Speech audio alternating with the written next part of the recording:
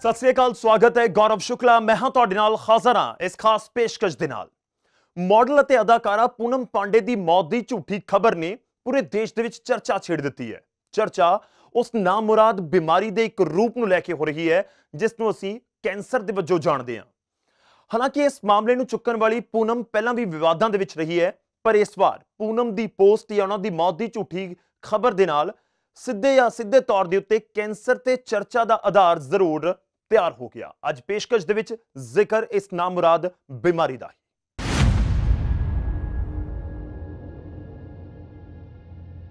ਸ਼ੁਰੂਆਤ ਕਰਦੇ ਹਾਂ ਤੇ ਗੱਲ ਹੋਵੇਗੀ ਪੂਨਮ ਪਾਂਡੇ ਦੀ। ਦਰਅਸਲ 2 ਫਰਵਰੀ ਨੂੰ ਪੂਨਮ ਪਾਂਡੇ ਦੇ ਸੋਸ਼ਲ ਮੀਡੀਆ ਅਕਾਊਂਟ ਦੇ ਉੱਤੇ ਪਾਈ ਗਈ ਮੌਤ ਦੀ ਪੋਸਟ ਨੇ ਹਰ ਕਿਸੇ ਨੂੰ ਇੱਕ ਝਟਕਾ ਦਿੱਤਾ। ਪੂਨਮ ਦੇ ਫੈਨਸ ਦੇ ਲਈ ਇਹ ਸਦਮਾ ਸੀ। ਪਰ ਜਦੋਂ ਸੱਚ ਸਾਹਮਣੇ ਆਇਆ ਤਾਂ ਮੁੱਦਾ ਸੰਵੇਦਨਸ਼ੀਲ ਵੀ ਲੱਗਿਆ ਅਤੇ ਪੂਨਮ ਦੀ ਪੋਸਟ ਦਾ ਦੂਜਾ ਪੱਖ ਵੀ ਚਰਚਾ ਦਾ ਵਿਸ਼ਾ ਬਣ ਗਿਆ।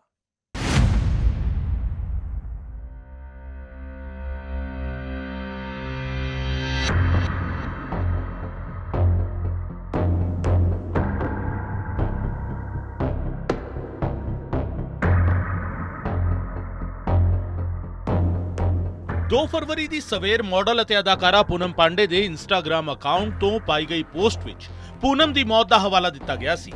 ਕਾਲੇ ਰੰਗ ਤੇ ਚਿੱਟੇ ਅੱਖਰਾਂ ਵਿੱਚ ਲਿਖੀ ਗਈ ਪੋਸਟ ਨੇ ਪੂਨਮ ਦੇ ਫੈਨਸ ਨੂੰ ਨਿਰਾਸ਼ ਕਰ ਦਿੱਤਾ। ਇਸ ਪੋਸਟ ਵਿੱਚ ਲਿਖਿਆ ਗਿਆ ਸੀ, ਇਹ ਸਵੇਰ ਸਾਡੇ ਸਾਰਿਆਂ ਲਈ ਕਾਫੀ ਔਖੀ ਹੈ। ਸਾਨੂੰ ਇਹ ਦੱਸਦਿਆਂ ਦੁੱਖ ਹੋ ਰਿਹਾ ਹੈ ਕਿ ਅਸੀਂ ਆਪਣੀ ਪਿਆਰੀ ਪੂਨਮ ਨੂੰ ਸਰਵੀਕਲ ਕੈਂਸਰ ਦੀ ਵਜ੍ਹਾ ਕਰਕੇ ਹਮੇਸ਼ਾ ਲਈ ਗਵਾ ਦਿੱਤਾ ਹੈ। ਹਰ ਜਿਉਂਦਾ ਜੀ ਜੋ ਉਸ ਦੇ ਨੇੜੇ ਕਦੇ ਵੀ ਆਇਆ, ਉਸ ਨੂੰ ਪੂਨਮ ਦਾ ਪਿਆਰ ਅਤੇ ਰਹਿਮਦਿਲੀ ਮਿਲੀ। ਇਸ ਦੁੱਖ ਦੀ ਘੜੀ ਵਿੱਚ ਅਸੀਂ ਪੂਨਮ ਨੂੰ ਯਾਦ ਕਰਦਿਆਂ ਨਿਜਤਾ ਬਣਾਏ ਰੱਖਣ ਦੀ ਅਪੀਲ ਕਰਦਿਆਂ ਇਸ ਪੋਸਟ ਮਗਰੋਂ ਉਹਨਾਂ ਦੇ ਫੈਨਸ ਦੇ ਵਿੱਚ ਤਰਥੱਲੀ ਮਚ ਗਈ ਇਸ ਤੋਂ ਇਲਾਵਾ ਕੁਝ ਵੀ ਕਿਸੇ ਨੂੰ ਪਤਾ ਨਹੀਂ ਸੀ ਲੱਗ ਰਿਹਾ। ਪੂਨਮ ਦੇ ਡਰਾਈਵਰ ਅਤੇ ਗਾਰਡ ਨੂੰ ਵੀ ਉਹਨਾਂ ਬਾਰੇ ਕੋਈ ਜਾਣਕਾਰੀ ਨਹੀਂ ਸੀ। ਅਤੇ ਸ਼ਾਮ ਹੁੰਦਿਆਂ ਹੁੰਦਿਆਂ ਇਹ ਖਬਰ ਹਰ ਪਲੇਟਫਾਰਮ ਦੀ ਸੁਰਖੀ ਬਣ ਗਈ ਸੀ। ਪਰ ਇੱਕ ਖਦਸ਼ਾ ਕਿਤੇ ਨਾ ਕਿਤੇ ਸਾਰਿਆਂ ਨੂੰ ਸੀ ਕਿ ਰੂਟੀਨ ਕੰਮ ਤੋਂ ਇਲਾਵਾ ਹੋਰਨਾਂ ਸੋਸ਼ਲ ਪਲੇਟਫਾਰਮ ਤੇ ਇੱਕ ਦੋ ਦਿਨ ਪਹਿਲਾਂ ਤੱਕ ਐਕਟਿਵ ਨਜ਼ਰ ਆ ਰਹੀ ਪੂਨਮ ਆਖਿਰ ਇੱਕੋ ਦਮ ਕਿਵੇਂ ਮੌਤ ਦਾ ਸ਼ਿਕਾਰ ਹੋਈ ਹਾਲਾਂਕਿ ਪੂਨਮ ਦੇ ਨਾਲ ਜੁੜੇ ਵਿਵਾਦਾਂ ਦਾ ਵੀ ਜ਼ਿਕਰ ਹੋ ਰਿਹਾ ਸੀ। ਫਿਰ ਚਰਚਾ ਭਾਵੇਂ 2011 ਵਿੱਚ ਦਿੱਤੇ ਗਏ ਵਿਵਾਦਤ ਬਿਆਨ ਦੀ ਹੋਵੇ ਜਾਂ ਉਹਨਾਂ ਦੇ ਬਾਥਰੂਮ ਵੀਡੀਓ ਦੇ ਲੀਕ ਹੋਣ ਦੀ ਘਟਨਾ ਹੋਵੇ। ਕੋਵਿਡ-19 ਦੇ ਨਿਯਮਾਂ ਦੀ ਉਲੰਘਣਾ ਦਾ ਮਸਲਾ ਹੋਵੇ ਜਾਂ ਸੈਮ ਬੰਬੇ ਨਾਲ ਵਿਆਹ ਅਤੇ ਫਿਰ ਝਗੜੇ ਮਗਰੋਂ ਅਲਗਾਵ ਦੀਆਂ ਚਰਚਾਵਾਂ ਹੋਣ। ਸਾਰੇ ਵਿਵਾਦ ਸੁਰਖੀਆਂ ਵਿੱਚ ਸਨ। ਅਤੇ ਅਜੇ ਇਹ ਸਭ ਚੱਲ ਹੀ ਰਿਹਾ ਸੀ ਕਿ ਗਮਾਂ ਵਿੱਚ ਡੁੱਬੇ ਫੈਨਸ ਨੂੰ ਤਕਰੀਬਨ 24 ਘੰਟਿਆਂ ਬਾਅਦ ਪੂਨਮ ਨੇ ਦਿੱਤਾ ਸ਼ੌਕਿੰਗ ਸਰਪ੍ਰਾਈਜ਼ ਪੂਨਮ ਪਾਂਡੇ ਜ਼ਿੰਦਾ ਹੋ ਗਈ ਜ਼ਿੰਦਾ ਹੋ ਗਈ ਯਾਨੀ ਪੂਨਮ ਪਾਂਡੇ ਨੇ ਸਾਹਮਣੇ ਆ ਕੇ ਦੱਸਿਆ ਕਿ ਉਹ ਮਰੀ ਨਹੀਂ ਸੀ ਸਗੋਂ ਇਹ ਕੋਸ਼ਿਸ਼ ਸੀ ਸਰਵੀਕਲ ਕੈਂਸਰ ਪ੍ਰਤੀ ਲੋਕਾਂ ਨੂੰ ਜਾਗਰੂਕ ਕਰਨ ਦੀ I'm alive. I didn't die because of cervical cancer. Unfortunately, I cannot say that about those hundreds and thousands of women who have lost their lives because of cervical cancer. It is not because they couldn't do anything about it, because they had no idea what to do. I'm here to tell you that, unlike other cancers, cervical cancer is preventable. All you have to do is you have to get your tests done and you have to get HPV vaccine. ਯਾਨੀ ਪੂਨਮ ਨੇ ਸਾਰਾ ਕੁਝ ਕੀਤਾ ਸੀ ਜਾਗਰੂਕਤਾ ਫੈਲਾਉਣ ਲਈ। ਇਹ ਦਾਵਾ ਪੂਨਮ ਪਾਂਡੇ ਕਰ ਰਹੇ ਨੇ ਅਤੇ ਆਪਣੇ ਫੈਨਸ ਤੋਂ ਉਹਨਾਂ ਮੁਆਫੀ ਮੰਗੀ। ਪੂਨਮ ਨੇ ਇਹ ਸਭ ਕੀ ਸੋਚ ਕੇ ਕੀਤਾ ਸੀ, ਇਹ ਤਾਂ ਉਹੀ ਜਾਣਦੇ ਨੇ, ਪਰ ਉਹਨਾਂ ਦੇ ਫੈਨਸ ਇਸ ਪੂਰੇ ਸਟਾਈਲ ਨੂੰ ਸਵੀਕਾਰ ਨਹੀਂ ਕਰ ਪਾਏ। ਉਹਨਾਂ ਦੇ ਦੋਸਤਾਂ ਬਾਲੀਵੁੱਡ ਵਿੱਚ ਸਾਥੀ ਕਲਾਕਾਰਾਂ ਅਤੇ ਮਾਡਲਸ ਨੇ ਜੰਮ ਕੇ ਪੜਾਸ ਕੱਢੀ। ਉਰਫੀ ਜਾਵੇਦ ਨੇ ਆਪਣੀ ਪੋਸਟ ਵਿੱਚ ਲਿਖਿਆ ਕਿ, ਦੋਸਤੋ, ਮੈਂ ਮਰੀ ਨਹੀਂ ਹਾਂ। ਇਹ ਰਾਤ ਦਾ ਹੈਂਗਓਵਰ ਹੈ। ਜਦੋਂ ਤੁਸੀਂ ਰਾਤ ਨੂੰ ਜ਼ਿਆਦਾ ਪੀ ਲੈਂਦੇ ਹੋ ਤਾਂ ਤੁਸੀਂ ਅਗਲੇ ਦਿਨ ਸੁੱਤੇ ਰਹਿੰਦੇ ਹੋ ਮਰਦੇ ਨਹੀਂ ਅਲੀ ਗੋਨੀ ਅਤੇ ਮੁਨੱਵਰ ਫਾਰੂਕੀ ਨੇ ਸਿੱਧੇ ਪੂਨਮ ਦੀ ਪੀਆਰ ਟੀਮ ਤੇ ਹੀ ਨਿਸ਼ਾਨਾ ਸਾਧਿਆ ਅਤੇ ਸਭ ਤੋਂ ਵੱਡਾ ਬਿਆਨ ਦਿੱਤਾ ਪੂਨਮ ਦੀ ਦੋਸਤ ਰਾਖੀ ਸਾਵੰਤ ਨੇ यार तू मीडिया वालों से खेली तूने तो हमारी जान ले ली तू पागल है क्या पूनम पांडे तू पागल है क्या तो ऐसे वीडियो ऐसा कौन पब्लिसिटी स्टंट करता है मरने का यार तू मीडिया वालों से खेली, तेरे फैंस लोगों से खेली, तू मेरे दिल से खेली। क्या खिलवाड़ तूने कर रखा है और वीडियो बना के वैसे मैं ज़िंदा हूँ। आई एम अलाइव ऐसा गंदा कोई प्रैंक करता है क्या, पागल? कौन करता है ऐसा गंदा प्रैंक कौन करता है? तुझे मालूम है, मैं कल से सैड थी। मेरा वीडियो रिलीज़ का मुझे कल इंस्टाग्राम पे डालना था बट मैंने कहा मेरी फ्रेंड एक्सपायर हुई है। मैं आज कोई अच्छा काम नहीं करूँगी। I was sad for you I was crying कौन ऐसा करता है? यार, पागल है क्या तू? हम लोग कितने हर्ट हुए हैं। मीडिया वाले कितने परेशान हुए फैंस तेरे परेशान हुए। ऐसा ऐसा स्टंट कौन करता है, गंदा वाला? हंगामा ज़बरदस्त होया। ਪੂਨਮ ਮਰ ਕੇ ਮੁੜ ਜ਼ਿੰਦਾ ਹੋ ਗਈ ਅਤੇ ਉਹਨਾਂ ਦੇ ਫੈਨਸ ਅਤੇ ਦੋਸਤਾਂ ਨੇ ਵੀ ਜੰਮ ਕੇ ਆਪਣੀ ਪੜਾਸ ਸੋਸ਼ਲ ਮੀਡੀਆ ਤੇ ਕੱਢੀ। ਪਰ ਇਸ ਸਭ ਦੇ ਵਿਚਾਲੇ ਜੋ ਚਰਚਾ ਪੂਨਮ ਨੇ ਸ਼ੁਰੂ ਕੀਤੀ ਸੀ, ਉਸ ਬਾਰੇ ਵੀ ਗੱਲਬਾਤ ਹੋਣੀ ਸ਼ੁਰੂ ਹੋ ਗਈ। Bureau report, news 18 Punjab.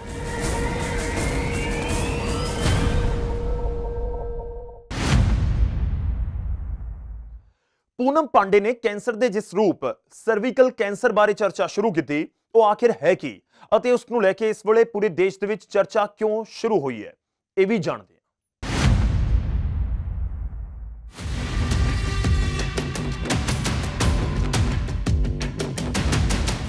ਅਦਾਕਾਰਾ ਅਤੇ ਮਾਡਲ ਪੂਨਮ ਪਾਂਡੇ ਨੇ ਜਿਹੜੇ ਮੁੱਦੇ ਨੂੰ ਮੁੱਖ ਰੱਖਦਿਆਂ ਆਪਣੀ ਮੌਤ ਦਾ ਡਰਾਮਾ ਰਚਿਆ, ਉਸ ਦੇ ਬਾਰੇ ਅਸਲ ਵਿੱਚ ਹੀ ਦੇਸ਼ ਵਿੱਚ ਜਾਗਰੂਕਤਾ ਦੀ ਘਾਟ ਹਜੇ ਵੀ ਬਣੀ ਹੋਈ ਸਰਵੀਕਲ ਕੈਂਸਰ ਜਾਂ ਬੱਚੇਦਾਨੀ ਦਾ ਕੈਂਸਰ, ਇੱਕ ਅਜਿਹੀ ਨਾਮੁਰਾਦ ਬਿਮਾਰੀ ਹੈ ਕਿ ਕਿੰਨੀਆਂ ਹੀ ਮਹਿਲਾਵਾਂ ਹੌਲੀ-ਹੌਲੀ ਇਸ ਤੋਂ ਪੀੜਤ ਹੋ ਕੇ ਮੌਤ ਦੀ ਸ਼ਿਕਾਰ ਹੋ ਜਾਂਦੀਆਂ ਨੇ।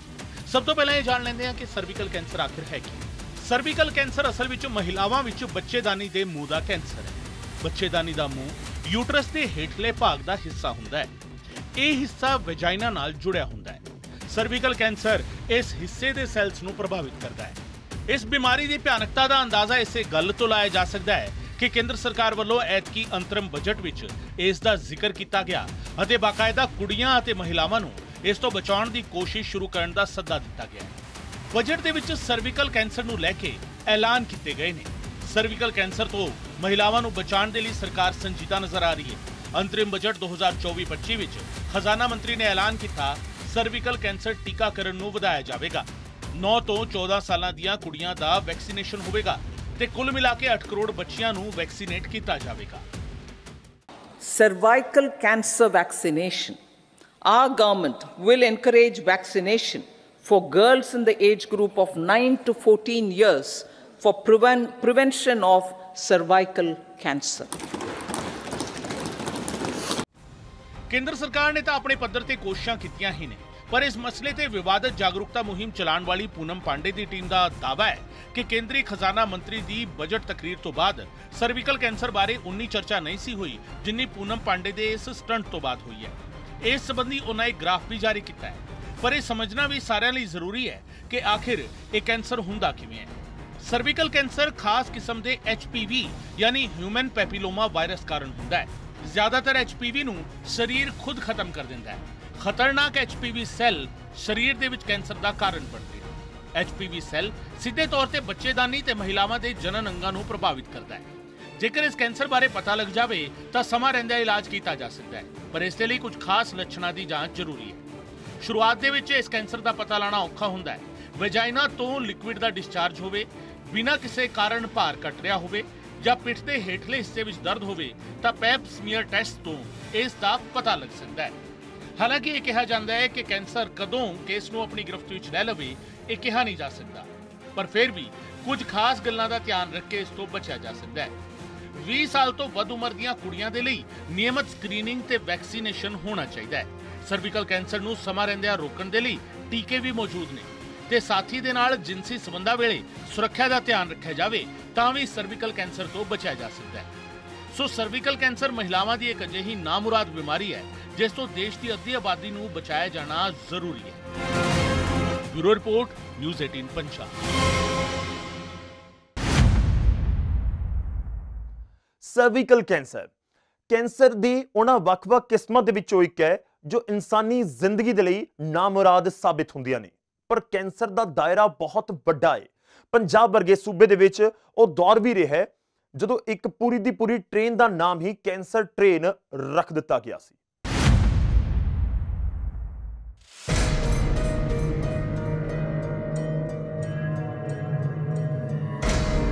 ਇੱਕ ਅਜਿਹੀ ਬਿਮਾਰੀ ਜਿਸ ਦਾ ਨਾਂ ਲੈਣ ਤੋਂ ਵੀ ਲੋਕ ਗੁਰੇਜ਼ ਕਰਦੇ ਨੇ। ਅਸਰ ਇੰਨਾ ਭਿਆਨਕ ਕਿ ਕਦੋਂ ਚੰਗੇ ਭਲੇ ਸ਼ਖਸ ਨੂੰ ਮੌਤ ਦੀ ਨੀਂਦ ਸਵਾ ਦੇਵੇ, ਕਿਹਾ ਵੀ ਨਹੀਂ ਜਾ ਸਕਦਾ। ਹਾਲਾਂਕਿ ਇੱਕ ਤੱਥ ਇਹ ਵੀ ਹੈ ਕਿ 70 ਦੇ ਦਹਾਕੇ ਤੋਂ ਬਾਅਦ ਕੈਂਸਰ ਤੋਂ ਬਚਾਅ ਦੀ ਦਰ ਤਿੰਨ ਗੁਣਾ ਵਧੀ ਹੈ। ਅਤੇ ਇਸ ਦੇ ਸ਼ੁਰੂਆਤੀ ਲੱਛਣਾਂ ਦਾ ਪਤਾ ਲਾਉਣ ਦਾ ਸਮਾਂ ਬਹੁਤ ਘਟਿਆ ਪਰ ਸਭ ਤੋਂ ਪਹਿਲਾਂ ਇਹ ਸਮਝਣਾ ਜ਼ਰੂਰੀ ਹੈ ਕਿ ਆਖਿਰ ਕੈਂਸਰ ਹੈ ਕੀ। ਸਾਡਾ ਸਰੀਰ ਕੋਸ਼ਿਕਾਵਾਂ ਦੇ ਨਾਲ ਬਣਿਆ ਹੁੰਦਾ ਹੈ। ਕੋਸ਼ਿਕਾਵਾਂ ਲਗਾਤਾਰ ਵੰਡਦੀਆਂ ਰਹਿੰਦੀਆਂ ਨੇ। ਇਹ ਸਧਾਰਨ ਪ੍ਰਕਿਰਿਆ ਹੈ ਅਤੇ ਇਸ ਤੇ ਸਰੀਰ ਦਾ ਕੰਟਰੋਲ ਹੁੰਦਾ ਹੈ। ਜਦੋਂ ਕਿਸੇ ਖਾਸ ਹਿੱਸੇ ਵਿੱਚ ਕੋਸ਼ਿਕਾਵਾਂ ਤੇ ਸਰੀਰ ਦਾ ਕੰਟਰੋਲ ਨਹੀਂ ਰਹਿੰਦਾ ਤਾਂ ਕੋਸ਼ਿਕਾਵਾਂ ਬੇਲਾਗ ਤਰੀਕੇ ਵਧਣ ਲੱਗ ਜਾਂਦੀਆਂ ਨੇ। ਇਸੇ ਨੂੰ ਹੀ ਕੈਂਸਰ ਕਿਹਾ ਜਾਂਦਾ ਹੈ। ਕੈਂਸਰ ਦੇ ਸ਼ੁਰੂਆਤੀ ਲੱਛਣ ਕੀ ਹੋ ਸਕਦੇ ਨੇ, ਇਹ ਵੀ ਜਾਣ ਲੈਣਾ ਚਾਹੀਦਾ ਹੈ। ਸ਼ੁਰੂਆਤੀ 10 ਲੱਛਣਾਂ 'ਚ ਸਭ ਤੋਂ ਪਹਿਲਾ ਲੱਛਣ ਹੈ ਭਾਰ ਘਟਣਾ, ਤੇ ਜਿਸ ਦਾ ਕਾਰਨ ਵੀ ਸਹੀ ਤਰ੍ਹਾਂ ਪਤਾ ਨਾ ਹੋਵੇ। ਕੈਂਸਰ ਵਾਲੇ ਜ਼ਿਆਦਾਤਰ ਲੋਕ ਕਿਸੇ ਸਮੇਂ ਭਾਰ ਘਟਣ ਦਾ ਤਜਰਬਾ ਕਰਦੇ ਨੇ। ਇਹ ਪੈਨਕ੍ਰੀਆਸ, ਢਿੱਡ ਅਨ ਨਾਲੀ ਜਾਂ ਫੇਫੜਿਆਂ ਦੇ ਕੈਂਸਰ ਦੇ ਮਾਮਲਿਆਂ ਵਿੱਚ ਅਕਸਰ ਹੁੰਦਾ ਹੈ। ਦੂਜਾ ਲੱਛਣ ਹੈ ਬੁਖਾਰ। ਕੈਂਸਰ ਵਾਲੇ ਮਰੀਜ਼ਾਂ ਵਿੱਚ ਬੁਖਾਰ ਬਹੁਤ ਆਮ ਹੁੰਦਾ ਹੈ।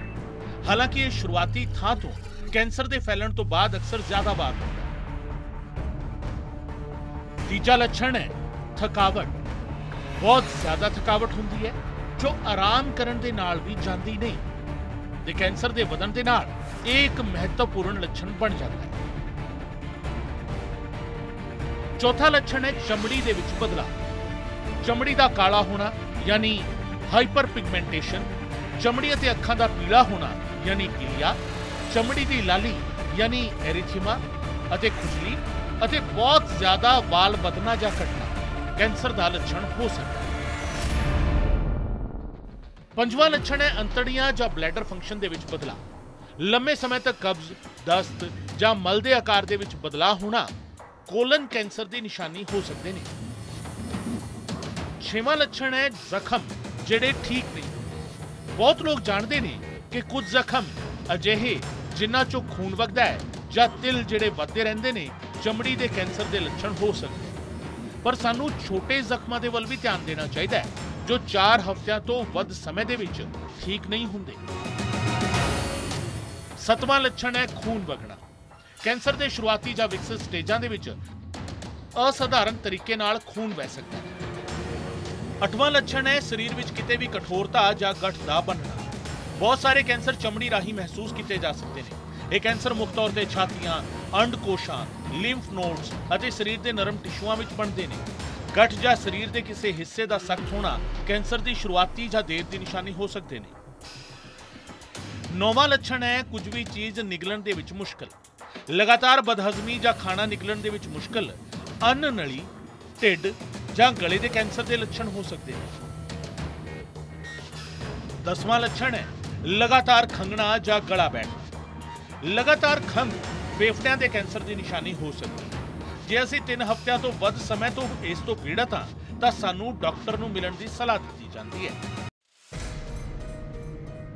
ਪੰਜਾਬ ਵਰਗਾ ਸੂਬਾ ਜਿੱਥੇ ਦੇ ਮਾਲਵਾ ਖੇਤਰ ਤੋਂ ਕੈਂਸਰ ਟ੍ਰੇਨ ਲੋਕਾਂ ਦੀ ਜ਼ਿੰਦਗੀ ਦਾ ਹਿੱਸਾ ਬਣ ਗਈ ਹੋਵੇ ਅਤੇ ਜਿੱਥੇ ਦੀ ਜ਼ਰਖੇਜ਼ ਜ਼ਮੀਨ ਨੂੰ ਕੈਮੀਕਲ ਖਾਦਾਂ ਨੇ ਆਪਣੇ ਜ਼ਹਿਰ ਵਿੱਚ ਡੁਬੋ ਕੇ ਕੈਂਸਰ ਦੀ ਨਰਸਰੀ ਇਸ ਜ਼ਮੀਨ ਵਿੱਚ ਤਿਆਰ ਕਰ ਦਿੱਤੀ ਹੋਵੇ, ਉਸ ਸੂਬੇ ਵਿੱਚ ਆਮ ਲੋਕਾਂ ਨੂੰ ਇਸ ਨਾਮੁਰਾਦ ਬਿਮਾਰੀ ਦੇ ਲੱਛਣਾਂ ਬਾਰੇ ਖਾਸ ਕਰਕੇ ਪਤਾ ਹੋਣਾ ਚਾਹੀਦਾ ਹੈ, ਤਾਂ ਜੋ ਆਉਂਦੀਆਂ ਪੀੜ੍ਹੀਆਂ ਨੂੰ ਇਸ ਭਿਆਨਕ ਬਿਮਾਰੀ ਤੋਂ ਸੁਰੱਖਿਅਤ ਰੱਖਿਆ ਜਾ ਸਕੇ।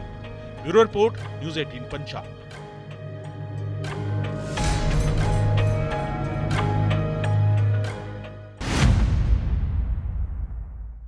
ਉਧਰ ਕੈਂਸਰ ਜਿਹੀ ਇਸ ਨਾਮੁਰਾਦ ਬਿਮਾਰੀ ਨੂੰ ਇੱਕ ਸਟੇਜ ਤੋਂ ਬਾਅਦ ਪੂਰੇ ਤਰੀਕੇ ਕਾਬੂ ਪਾਉਣਾ ਜਿੰਨਾ ਔਖਾ ਡਾਕਟਰਾਂ ਦੇ ਲਈ ਹੁੰਦਾ ਹੈ, ਉਨਾ ਹੀ ਔਖਾ ਇਸ ਦੇ ਲਈ ਕੋਈ ਸ਼ੁਰੂਆਤੀ ਟੀਕਾ ਲੱਭਣਾ ਵੀ ਬਣਿਆ ਹੋਇਆ ਹੈ। ਪਰ ਜੇਕਰ ਇੱਕ ਬਿਹਤਰ ਲਾਈਫਸਟਾਈਲ ਅਪਣਾਇਆ ਜਾਵੇ ਤਾਂ ਇਸ ਤੋਂ ਕਾਫੀ ਹੱਦ ਤੱਕ ਬਚਿਆ ਜਾ ਸਕਦਾ ਹੈ।